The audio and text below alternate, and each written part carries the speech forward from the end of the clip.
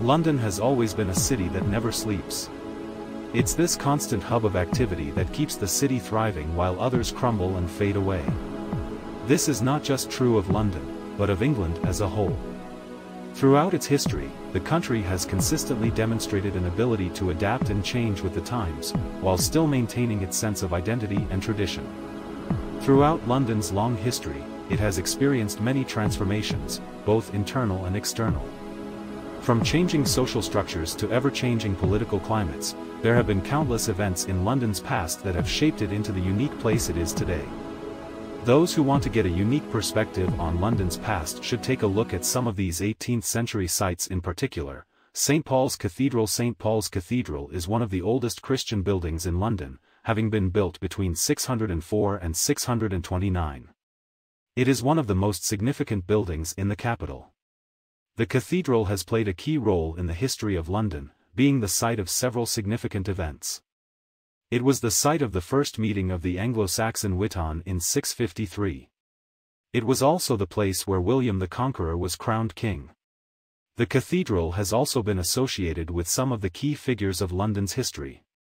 Shakespeare is said to have performed there, while Charles II and James II are buried there.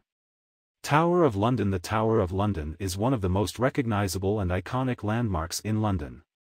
It has been a royal palace and fortress since the 11th century, and has been an important center of political power since then.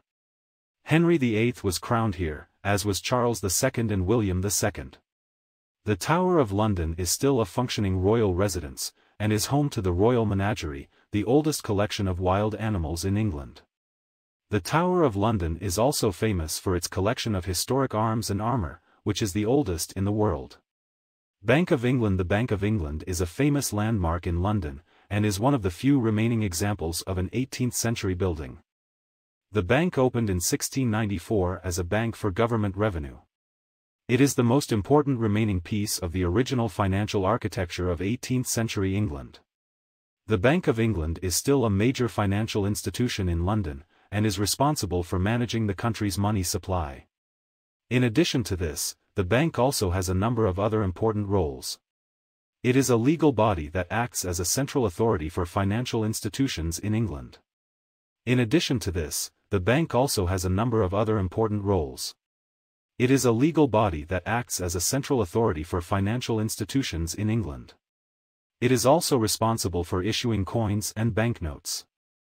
The City and Liberty of Westminster The City and Liberty of Westminster is a historic area of London that has played an integral part in the city's history.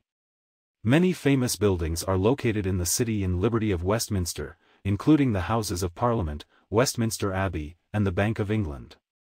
The City and Liberty of Westminster is also famous for its collection of historic buildings. Many of the historic buildings in the City and Liberty of Westminster are Grade I listed.